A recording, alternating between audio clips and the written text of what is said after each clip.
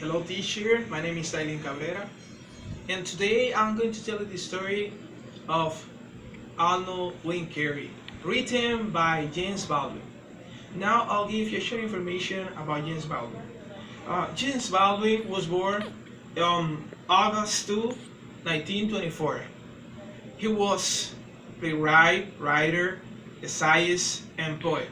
He's considered he's considered as a, as the voice of American civil rights because most of the story he wrote was based on the social social community problems.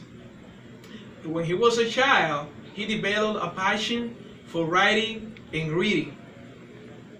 He wrote a word named Go Telling the Mountain. That's why he received acclaim and insights for his work. He died on December 1st, 1987. Uh, my story is an interesting story because was based on real life. Most of the investigators they say that they found a couple of manuscripts that prove that the story was real. And after the battles, a couple of years after the battle, they found a couple of people exactly with the same last name of Arnold Carey. But, um, for example, he found uh, um, a person named Henry Carey, and the other one was Ernie Carey. They say that it is possible that they could be relative. In my, in my story, we have different characters. We have Winkelried, which, uh, which is the main character, which is the person that fight for the, the town, which is the person that sacrificed his life for the town. We have the soldiers that were the enemies, and also we have the town that are the people that fight for their rights. These stories takes place in Switzerland. Here is the story. A group of soldiers came from the army just to the decision of me, the people from this town, as slaves. They were coming to take from them the ships. They were coming just to burn the town. They were coming to make a war. All the town knew all of this. That's why they gathered. They were coming from the mountains. They were coming from valleys. They were coming from everywhere. But the only that they have on hands was a stone, was a stone, was uh, a stick, and clothes. They didn't have any weapon to face the soldiers. Then soldiers were completely, completely armed. They were fully armed. They had strong shields and big arms to win the battle. And one of the people from the town said, wow, we can do against the soldier. But then the leader of the people from the town cried and said, we need to break the line in order for us to win the battle. Because we won't be able to win if they keep together.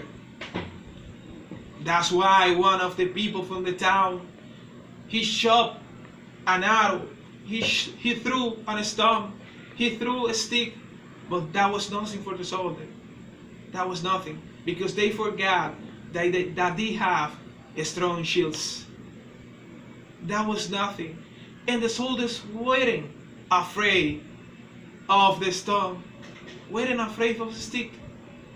Then the people, then the leader said one more time, if it doesn't break the ranks, the city will be lost. We will, we will lose our lives. Then a man, a man named Winkelried stepped up. He was coming from the side of a yonder mountain and said, Today I will die for my country. Today I will sacrifice my life for my country. even though I have wife, even though I have children, that they are waiting for my return. Today, I will fight for, for the country. And you, my friends, he said, do your duties and fight as bravely as you can. Then he said this word, he roamed toward the soldiers, and he said, make a way for liberty. But he didn't have any weapon on hands. He didn't have any stone. He didn't have any stick. He didn't have any clue. He just ran toward the soldiers. And then all the soldiers started chasing him using an arrow that they have on hands. And just like that, Arnold Winkelried broke the line of the soldiers. A hundred soldiers were chasing him in that battle. When the people from the town saw the action, they decided to start fighting with the only thing they have on hands that were stones, that were sticks, and arrows. They fought for their life. They didn't have any fear. They gave the, the best of them. And at last, they won the battle. But unfortunately, Arnold Winkelried died. But he didn't die in vain. It was a battle that you have never seen before. But they won the battle. The, the tone of the story is solemn because it was based on real life. It was a legend. This story was a legend.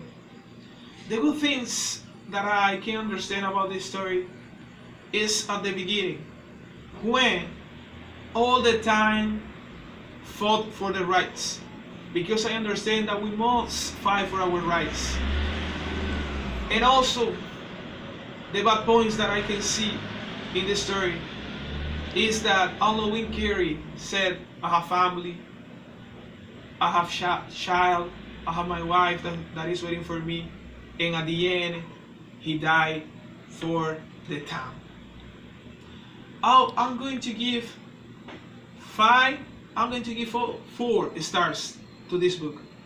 Do I like the story? Of course I like the story.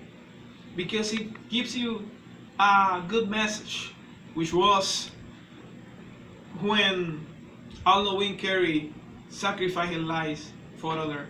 And also I would like to make a commentary about about this. The Bible said that the true love is this when a person die for his friend that's the real love he didn't think about his life he only thought about the town and his families. This is all for today teacher and i hope you like. That's all. That's all